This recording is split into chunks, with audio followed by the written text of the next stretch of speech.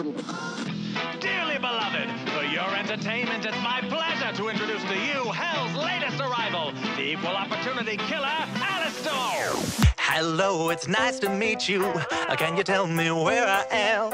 I don't know how I got here, but I, I think I'm starting to understand. I don't belong among the angels, and maybe that's just fine with me. The things I did up there were high school, but now I'm going for my degree.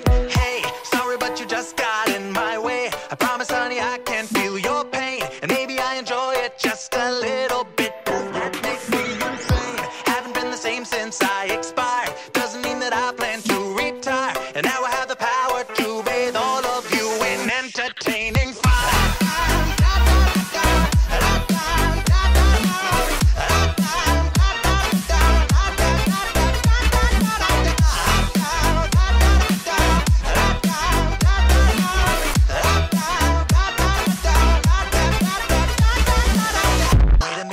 Do I know you? Weren't you an old pal of mine? Departed from us far too early, but now we're meeting a second time. We used to have such fun together, and maybe you have what I need. But first, I have one tiny question. Tell me, do you demons bleed? Hey, sorry, but you just got in my way. I promise, honey, I can feel your pain, and maybe I enjoy it just same since I expired. Doesn't mean that I plan to retire, and now I have the power to breathe all of you in entertaining fire.